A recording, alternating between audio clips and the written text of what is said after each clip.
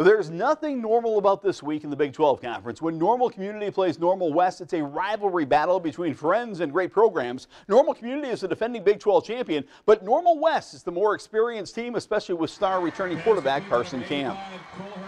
You know, Carson Camp, outstanding quarterback, can make plays with his arm and his feet and has a great understanding what they're doing offensively. Uh, Nicole Hernandez out wide, just a, a, big target that runs great routes, make can make tough catches and makes good catches. Uh, defensively, they got four or five guys, four or five guys back that are really sound, physically tough. Oh, they've been great for a long time. Their coaching staff's done a great job of uh, getting them ready to play every year, and uh, you know they're a great opponent. So, you know, we definitely got our work cut out for us. This rivalry has been dominated by the Ironmen of late. The Normal West seniors have never beat Normal Community. That's a big theme as the Wildcats get ready for Friday nights.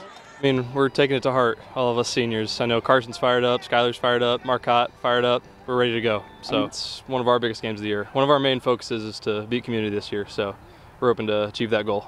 It's the like competitiveness between the two teams and the traditions great and going against Carson is probably one of the best quarterbacks we'll go against.